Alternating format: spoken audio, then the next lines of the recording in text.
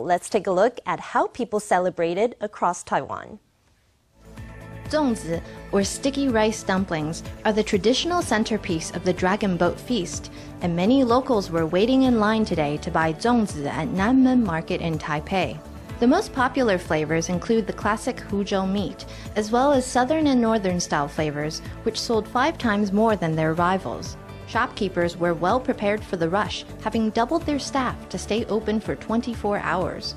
This year, Yunlin County hosted a dragon boat race for the first time at Yiwu Detention Basin in Kouhu Township. This morning, Yunlin County Commissioner Lee Chin-yung sat high in the bow of his boat, pounding out a steady beat as teams made up of the county government and county council faced off in a friendly. The county government won the race by a razor thin 0.61 seconds. According to legend, a sip of well water between 11 a.m. and 1 p.m. on Dragon Boat Festival helps to ward off evil spirits. A crowd gathered today around the Blessed Babalong Well in Tamsui's Tianyuan Temple, using all sorts of vessels to draw water and protect themselves for the year ahead.